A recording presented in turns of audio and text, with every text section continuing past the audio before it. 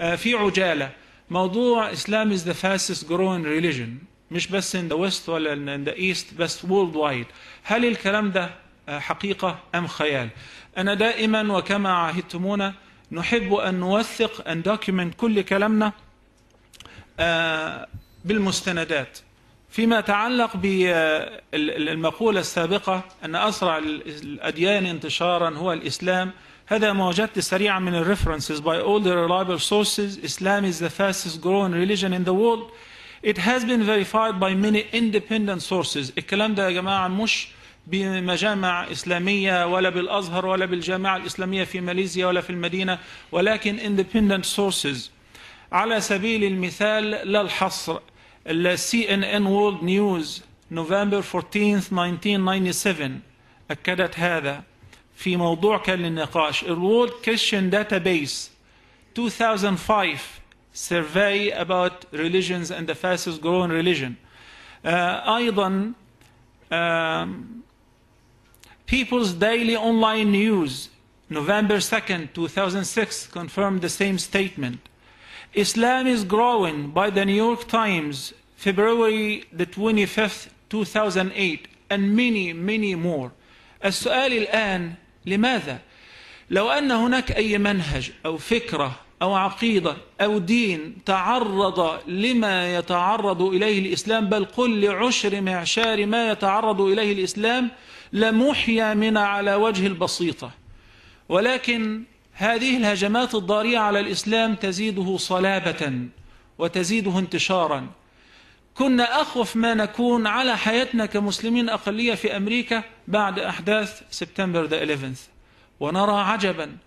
والله ما زادت هذه الأحداث الإسلام إلا انتشارا وذياعا. كل هذه القنوات والهجمات الإعلامية المسخرة ومن ورائها مليارات. Constantly stereotyping and bashing Islam and Muslims to the extent في يوم من الأيام أنا كنت أشاهد أعتقد كان على فوكس نيوز جابوا خبير أمني من ال FBI يوصف حالة ال sleepers ال sleeper اللي هو يعني يقول مسلم بس متخفي. وفي يوم من الأيام هيقوم بعملية عملية انتحارية تفجيرات إلى غير ذلك. ما هي مواصفات ال sleepers آه، تبعا لهذا الخبير الأمني من ال FBI على قناة انترناشونال نيوز أنا لما سمعت هذا الكلام يعني كنت أضحك أضحك من أعماق قلبي. وفي نفس الوقت كنت أتحسس الخطورة. أنا والله أذكر قوله عز وجل في سورة فصلت وقال الذين كفروا لا تسمعوا لهذا القرآن والغوا فيه لعلكم تغلبون. إذا المسألة آه، يعني فريدم وأن كل واحد من حقه أنه يتعرف على الدين اللي يحبه وأنه يختار كما في المادة التاسعة من ال human rights amendment كانت المسألة بسيطة. كان زمان دلوقتي الإسلام يعني معدل انتشاره زاد بكثير. ولكن مع كل هذه الضغوط يقول هذا الرجل يحذر ال citizens من إن مين ممكن يكون a sleeper قال هو مواطن صالح. اول حاجه this is how he looks like ممكن يكون غالبا يا دكتور يا مهندس او في good position he has a good job اولاده they go to good schools they're very disciplined ما تسمعوش بيقول كلام وحش and he is good to his neighbors really normally he invites them over and he might exchange gifts with them ويدعوهم في حفلاته ويزور مرضاهم ده مين السليبر السو كول سليبر أولاده قاعد يتكلم عن أولاده ومراته مهذبة أو لابسة الحجاب إلى غير ذلك. معنى ذلك إن هو بيخوف ال local people من كل واحد مسلم صالح. من كل واحد مسلم صالح. من دواعي انتشار الإسلام طبعا أهم سبب من أسباب دخول الناس في دين الله عز وجل هو توفيق الله عز وجل. فالله عز وجل يقول في سورة الأنعام فمن يرد الله أن يهديه simply يشرح صدره للإسلام. هناك أناس كثيرون دخلوا الإسلام من حيث ظنوا أنهم يحاربونه وأناس دخلوا الإسلام حيث خوفوا من الإسلام وأناس دخلوا الإسلام من حيث لا يحتسبون ولا يعرفون. مش عارفين سبب ولكن ربنا كده يعني كاست الهداية في قلوبهم. دي اللي اسمها هداية الإيه؟ هداية التوفيق. فأعظم سبب هو التوفيق. هذا الرجل الفاضل الذي يجلس بين أيدينا الآن وأمامكم.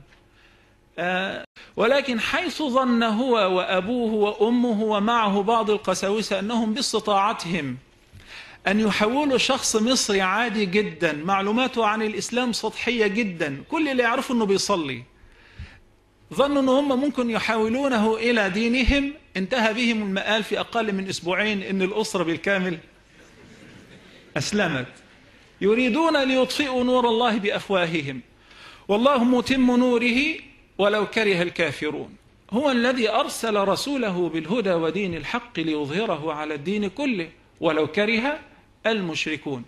سيدنا النبي عليه الصلاة والسلام يقول في الحديث الصحيح عن ثوبان والحديث في مسلم إن الله زوى لي الأرض فرأيت مشارقها ومغاربها وإن ملك أمتي سيبلغ ما زوي لي منها. هذه بشارة بالنسبة للمسلمين أكيدة.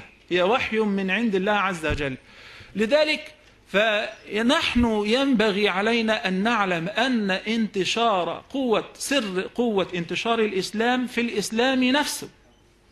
فالإسلام ينتشر بقوته الذاتية لأن الله عز وجل ارتضى هذا الدين لعباده. وقال إن الدين عند الله الإسلام.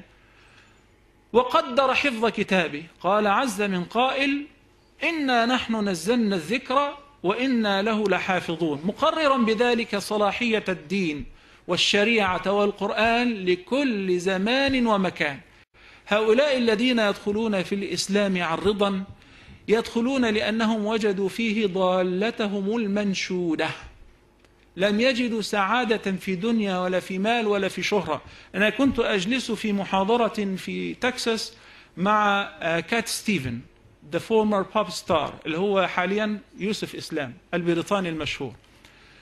فقال له واحد أنا كنت في لندن لما كنت تغني أغنيتك المشهورة كذا كذا. قال له please brother I don't want to remember those days.